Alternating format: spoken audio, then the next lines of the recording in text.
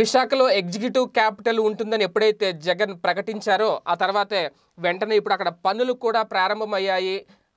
పరిపాలనకు సంబంధించి అలాగే కొన్ని కార్యాలయాలకు సంబంధించి భవనాలను వెతికే పనిలో ఆల్రెడీ ఒక కమిటీ తిరుగుతోంది అని ఒక ప్రచారం జరుగుతుంది. అంటే ఎగ్జిక్యూటివ్ క్యాపిటల్ అనేది చాలా ఇంపార్టెంట్ కాబట్టి అతి తక్కువ టైంలోనే అంటే మరొక మూడు నెలల్లో ఏప్రిల్ నెల కల్లా ఏప్రిల్లో మార్చి ఏప్రిల్లో జూన్ ఆ నెలల్లో అక్కడ ఖచ్చితంగా అక్కడి నుంచే మొత్తం ప్రారంభించాలి అనే దిశగా చర్యలు తీసుకుంటున్నారంట. దానికి సంబంధించి కొంత సమాచారం అయితే మనకు అందుతుంది అది నేను మీ ముందుంచే ప్రయత్నం చేస్తాను.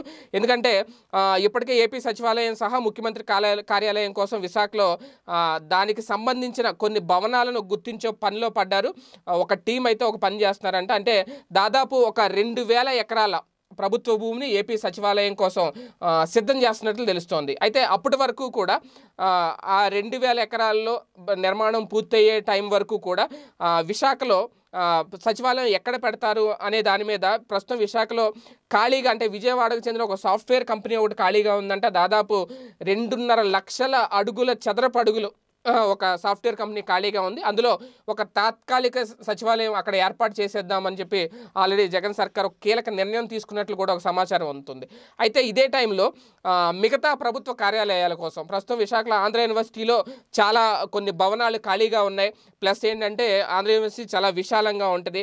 ఆ మిగతా ప్రభుత్వ కార్యాలయాల కోసం ఆంధ్ర యూనివర్సిటీలో ఖాళీగా ఉన్న కొన్ని భవనాలను వాడుకోవాలి అని చెప్పి జగన్ అధికారులకు సూచించారనేది కూడా మరో సమాచారం. ఇదే టైంలో భీమ్లీ వైపు ఉన్న ఒక విశాలమైన భవనం ఆ, భీమ్లీ వైపు ఉన్న ఒక విశాలమైన భవనం ముఖ్యమంత్రి నివాసంగా అంటే ముఖ్యమంత్రి ఉండేందుకు ముఖ్యమంత్రి ఇంటిగా కూడా ఆ, బిల్డింగ్ని గుర్తించారు అనేది కూడా ప్రభుత్వ వర్గాల నుంచి అందుతున్న ఒక సమాచారం. అదే టైంలో భోగాపురం ఎయిర్పోర్ట్ ఏదైతే ఉందో విశాఖపట్నం విశాఖ భోగాపురం ఇంటర్నేషనల్ ఎయిర్పోర్ట్ వీటన్నిటికీ కూడా చాలా దగ్గరగా ఉండడం. సో రవాణాకు కూడా ట్రాన్స్పోర్ట్ కూడా ఎలాంటి ఇబ్బంది ఉండదన్నమాట. సో అందుకనే ఏయులో ఆంధ్ర యూనివర్సిటీలో ఖాళీగా ఉన్న భవనాలు అలాగే ఒక ఖాళీగా ఉన్న ఒక సాఫ్ట్వేర్ కంపెనీ ఇదే టైంలో భీమ్లీ వైపు ఉన్న ఒక హౌస్ జగన్ గారు ఉండేందుకు ఇవన్నీ ఈ భోగాపురం ఎయిర్పోర్ట్కి దగ్గరగా ఉంటాయి. ఉంటే కనుక ట్రాన్స్పోర్ట్ కూడా చాలా ఇబ్బంది ఉంటుంది. ఎలాంటి ఇబ్బంది ఉండదు. వేరే ప్రాంతాలు వెళ్ళాలన్నా ఎయిర్పోర్ట్ చాలా అవసరం కాబట్టి ఇబ్బంది ఉండదు అనేది.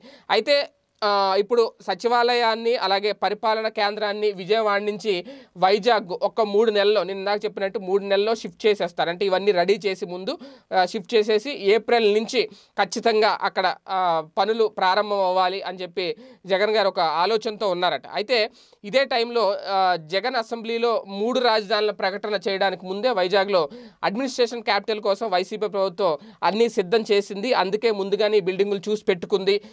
ఒక ఒక టీము ఇందుకు సంబంధించిన కొన్ని నిర్ణయాలు కూడా తీసుకుంది. ఎప్పటికప్పుడు ఒక నలుగురు ఐదుగురు ఒక కీలకమైన సీనియర్ నేతలు అంటే అగ్రశ్రేణి నేతలు అనాలి అధికారులతో పాటు ఐఏఎస్ ఐపీఎస్ అధికారులు లాంటి వాళ్ళు. ఎప్పటికప్పుడు జగన్ గారికి ఒక ఇన్ఫర్మేషన్ ఇస్తున్నారంట ఇలా ఇక్కడ ఉంటే బాగుంటుంది ఇవి ఉన్నాయి ఇవి ఉన్నాయి. ప్రభుత్వానికి సంబంధించిన భూములు ఎన్ని ఉన్నాయి ఇవన్నీ కూడా.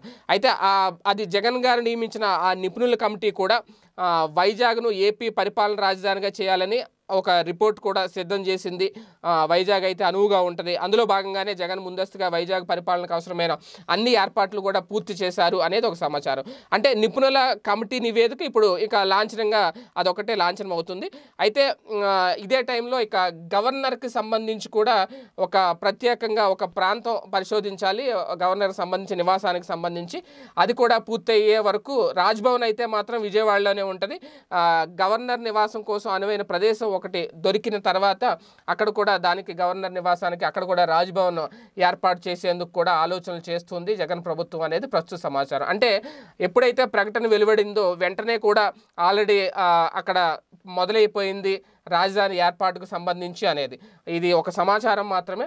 ఇది ఎంతవరకు ఆ దిశగా నిర్ణయాలు తీసుకుంటుంది ప్రభుత్వం ఎప్పుడులోగా అక్కడ పరిపాలన స్టార్ట్ చేస్తుంది ఈ లోపల ప్రజాభిప్రాయ సేకరణ అనేది ఒకటి ఉంది కాబట్టి ప్రజల ప్రజల నుంచి ఎలాంటి సానుకూల స్పందన వస్తుంది అనేది కూడా మనం చూడాలి. స్టేట్ మీరెక్కడున్నా ఏం చేస్తున్నా ప్రపంచంలో ఏం జరుగుతుందనేది ఇప్పుడు మీకు పెట్లోకి తెచ్చేసింది one line app political movies రాశి ఫలాలు ఆరోగ్య సలహాలు సీరియల్స్ విశేషాలు. ఇలా ఒకటేమిటి? బోలెడన్ని విశేషాలను మినిట్ టు మినిట్ మీకు అందిస్తుంది one line app so late ఎందుకు? డిస్క్రిప్షన్లో ఉన్న లింక్ ద్వారా వన్ లైన్ యాప్ డౌన్లోడ్ చేసుకోండి. One line it's for every